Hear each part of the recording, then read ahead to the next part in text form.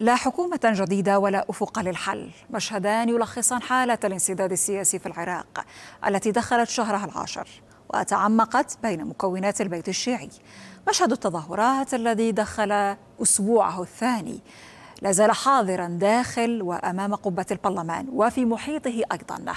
واليوم تجمع أنصار الزعيم الشيعي مقتدى الصدر في العاصمة بغداد لإحياء ذكرى عاشوراء ورفعوا رفعوا الأعلام في استعراض جديد للقوة.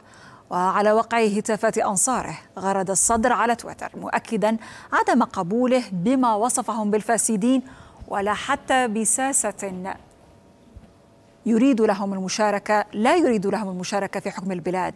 تغريدة الزعيم الشيعي جاءت بعد ساعات قليلة من إعلان زعيم ائتلاف دولة القانون نور المالكي رفضه لدعوة زعيم التيار الصدري للانتخابات المبكرة.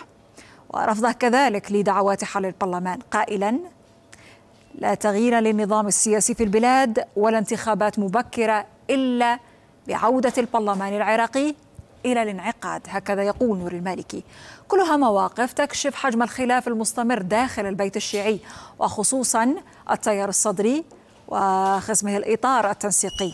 ومعها باتت كل الطرق نحو أي توافق أو حل سياسي مغلقة. والأوضاع تتجه نحو المزيد من التعقيد وهو ما ظهر في مشاهد تظهر طرد عراقيين لرئيس الحشد.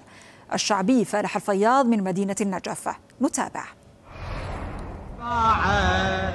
لا تصدق بحكي الإشاعة كلهم حراوية الجماعة